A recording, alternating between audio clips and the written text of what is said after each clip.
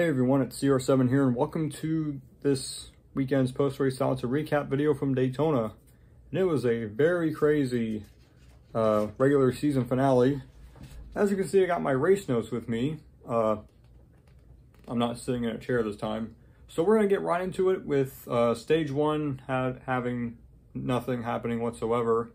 And Martin Truex Jr. took the stage victory me adjust the camera a little bit. Yes, there's a diecast right here. And then stage two begins at lap 41.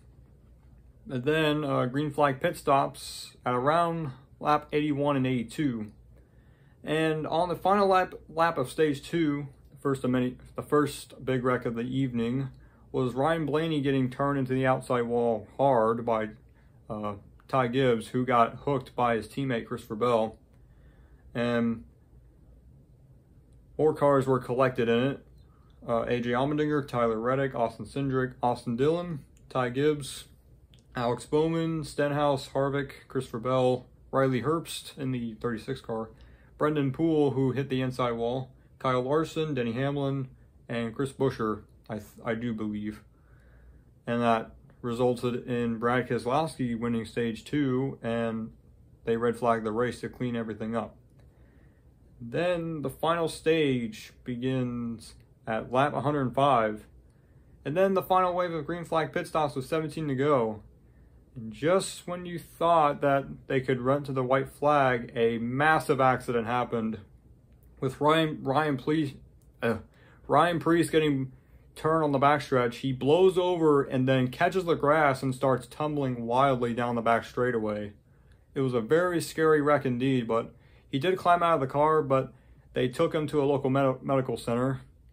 That's all the information that that I have right now. Uh, I will post on the community tab about Ryan Preece's condition. Uh, again, he did climb out of the car, but was transported to a local medical center for further evaluation. So, uh, best wishes go to Ryan Preece. Uh, my, pr my prayers are with him tonight, and I do hope he is all right after that big tumble.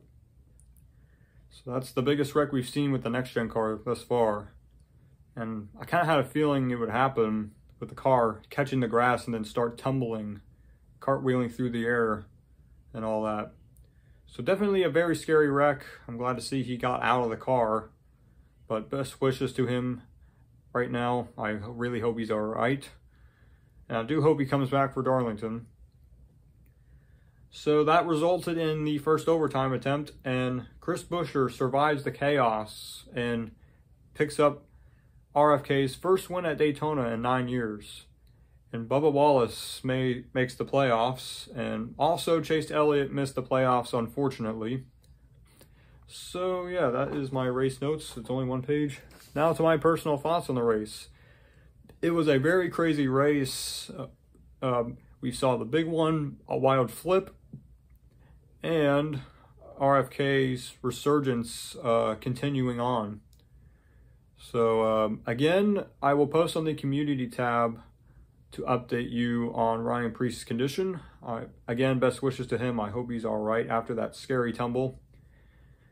So yeah, uh, that caps off uh, tonight's post-race thoughts or recap video. Stay tuned for tomorrow for the CR7 Fleet Car Series Sunday edition. So that'll do it for this video. Subscribe for more, and I'll see you in the next one. Bye-bye.